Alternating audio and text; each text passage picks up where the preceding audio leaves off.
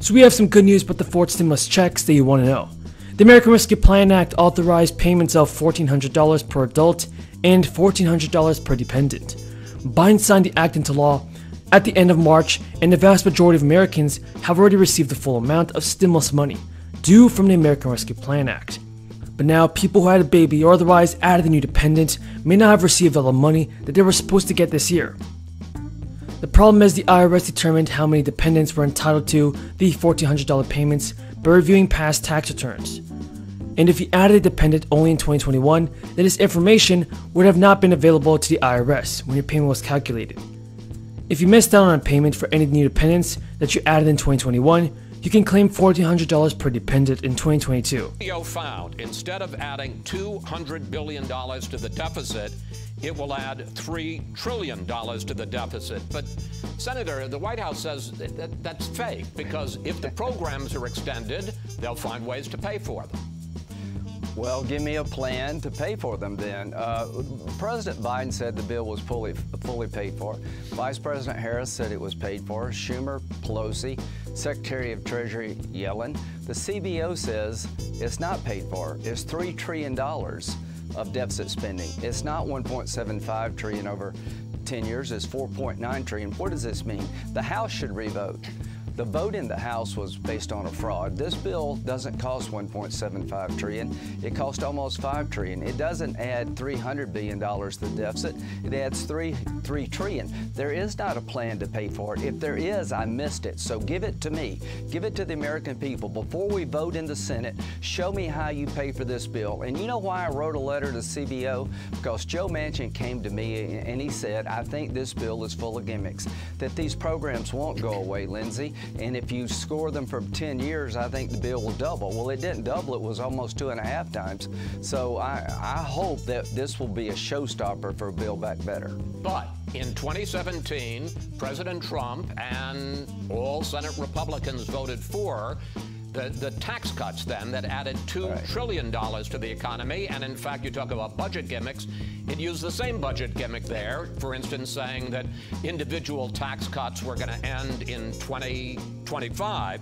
Uh, here's White House Press Secretary Jen Psaki on that the plan they proposed and passed for and passed into law, the 2017 tax cuts were $2 trillion, which were not paid for in any way, shape, or form. That didn't seem to upset them at all. Senator, does she have a point? Oh, no, not really. I like giving money back to the taxpayer.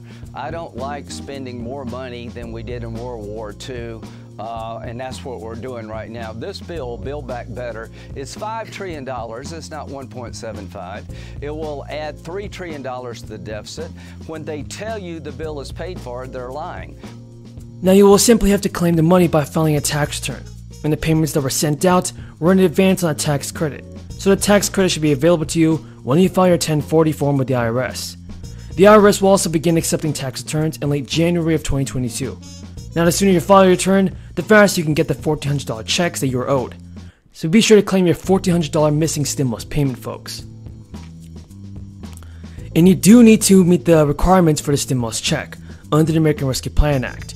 This includes falling within the income limits, and the full payment is available to single filer taxpayers with income under $75,000 and married joint filers with an income under $150,000. Payments do phase out once the income exceeds those thresholds, and single filers with an income above 80,000 or married joint filers with an income above 160,000 are not eligible. But you should make certain to claim this money if you're entitled to it, even if you don't normally file a tax return, as it can help you offset some of the economic damage from the crisis. But the good news is that Joe Manchin is facing mounting pressure from colleagues to back a federal paid family leave and medical plan that's backed by Democrats as the party seeks to finish work on a $2 trillion spending bill.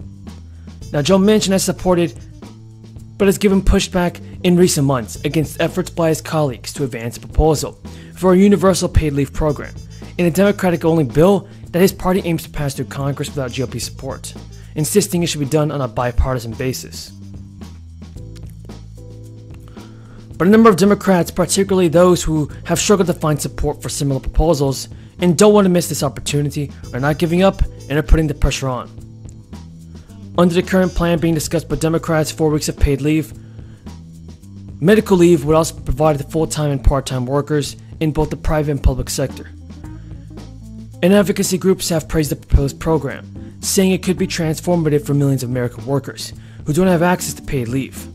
Now, Democrats had previously wanted to provide up to 12 weeks of paid family medical leave in their massive bill, but it was a scaled down version to only 4 weeks and then later mixed up from the entire plan. The party hopes to pass the bill in Congress using reconciliation, and that will allow them to bypass any GOP filibuster in the evenly split Senate.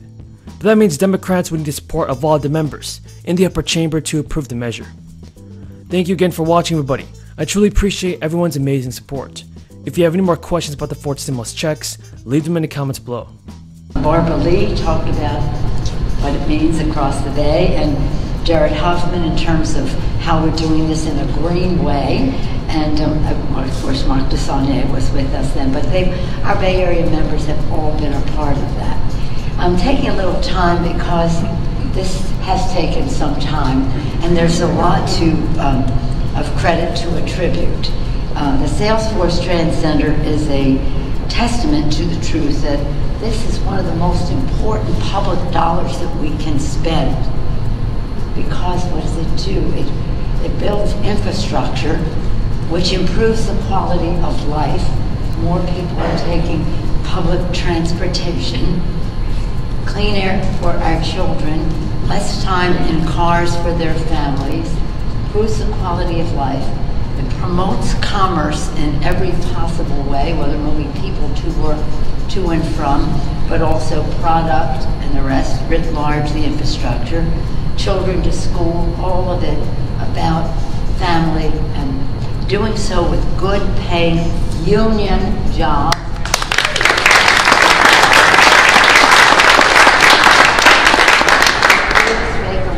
Protections in the legislation, delivering a better quality of life, I said, advancing equity, this being done in a new, fresh way, not like a road going through a neighborhood and dividing the community of interest, but instead breaking down all of those barriers to community common interest, and to do so in a way, in a way that is environment promotes environmental justice and again, connecting our community. So while this is this structure here, what is implied by it in the community and the rest is just remarkable, transformational, and really historic. That's why when the COVID pandemic hit, we insisted in the CARES Act uh, that we, and, and then following that, when President Biden became president in the American Rescue Package, that we would keep our transit systems running, uh, that we would save transit operators jobs in doing so, uh, that we would secure transportation vital for essential workers,